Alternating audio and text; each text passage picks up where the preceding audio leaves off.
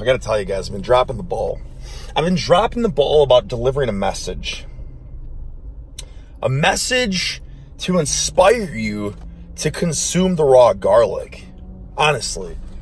Because it's something I stopped doing for a bit. I figured, well, you know, yeah, I feel pretty good. Like, maybe I just need more sleep. And I don't know. Like, no. Because I started getting sick again. I started feeling run down all the screaming at work and in the gym. My voice just wasn't recovering, just wasn't feeling good. And then it hit me.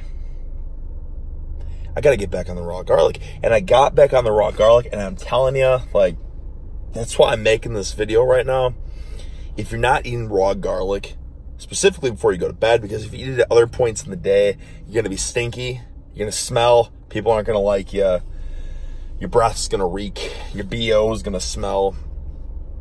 Like, I'm, I'm telling you, what I like to do is I like to suck down an entire bulb of raw garlic a couple hours before I go to bed. So let's say I go to bed at midnight.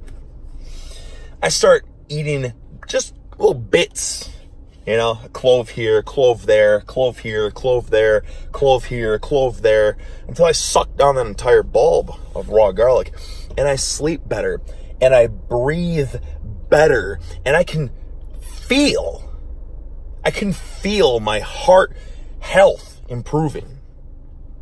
My blood pressure, I can feel my blood pressure go down because sometimes I just feel like my eyeballs are gonna burst, and I can just, I just feel and my heart might be ticking a little too hard. But when I eat that garlic, I just feel the vessels release, the blood is pumping, the brain is getting better flow, no strokes, no heart attacks, no cardiac arrest. I feel like at peace. And that is the garlic. And I'm telling you guys, especially if heart disease runs in your family, heart disease runs rampant in my family. I'm talking, I've both my grandparents died of heart disease, uncles, heart attacks, high cholesterol, strokes in the family. Like, heart disease is the wicked beast in my family lineage. And I eat that raw garlic, and I tell you, those heart disease worries out the window. The vessels release, the capillaries are pumping. I feel good. And when I can, guys, when I can, because a lot of times I work out in the mornings or I work out before I go to work, when I can, I like to eat the raw garlic before I lift if I have the opportunity.